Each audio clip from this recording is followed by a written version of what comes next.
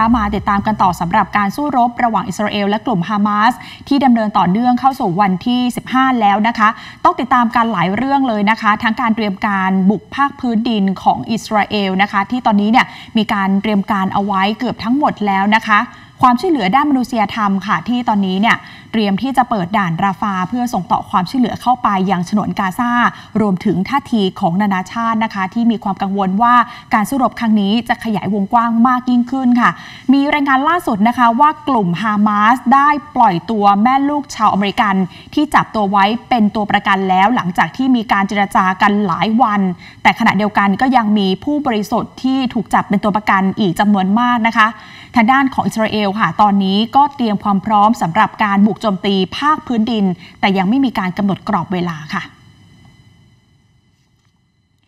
โดยทางกองทัพอิสราเอลระดมกำลังทหาร อาวุธยุโทโธปกรณ์ประชิดตามแนวพรมแดนที่ติดกับฉนวนกาซาในช่วงไม่กี่วันที่ผ่านมานี้ เพื่อเตรียมบุกภาคพื้นดินตามแผน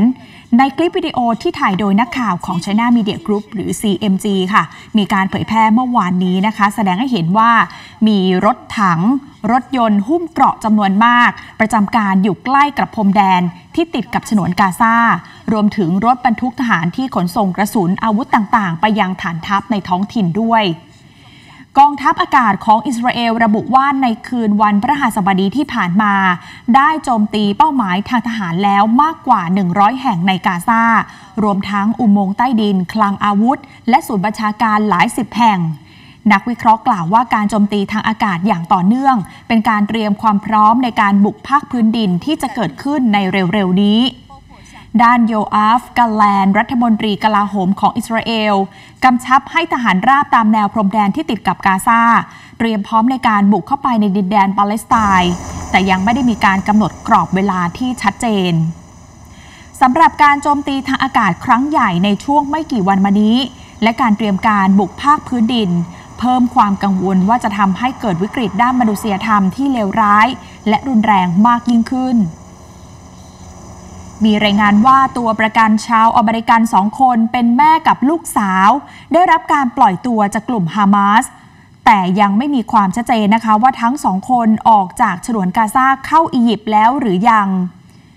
รายงานข่าวระบุด้วยค่ะว่าการปล่อยตัวประกันดังกล่าว เป็นผลของการเจรจาระหว่างกาตาร์และฮามาส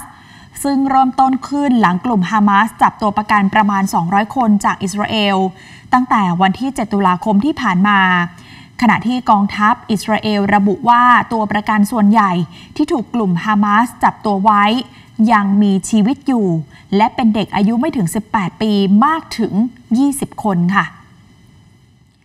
กลุ่มฮามาสบุกโจโจมเข้าไปในอิสราเอลเมื่อวันที่ 7 ตุลาคมที่ผ่านมา สังหารประชาชนไปประมาณ 1,400 คน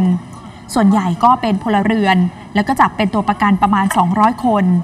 ในการตอบโต้อิสราเอลได้ปิดล้อมฉนวนกาซาพร้อมกับโหมโจมตีอย่างหนักเป็นระลอก บังคับใช้การปิดล้อม ระดมกำลังทหารจำนวนมากตรึงพรมแดน ก่อนที่จะมีการโจมตีภาคพื้นดินตามที่มีการคาดการเอาไว้ค่ะ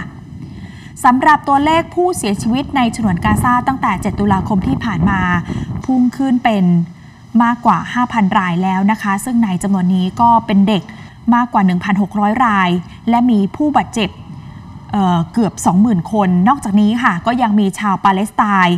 81 คนที่เสียชีวิตในเขตยึดครองเวสต์แบงค์ด้วยค่ะขอบคุณที่ติดตามรับชมรายการ TNN News ข่าวเช้านะคะ อย่าลืมกด subscribe กดกระดิ่ง กดไลค์ กดแชร์ ทุกช่องทางออนไลน์ของทาง TNN ช่อง 16 ค่ะ เพื่อไม่พลาดข่าวสาร รายการสด รวมถึงคลิปวิดีโอที่น่าสนใจอีกมากมายเลยค่ะ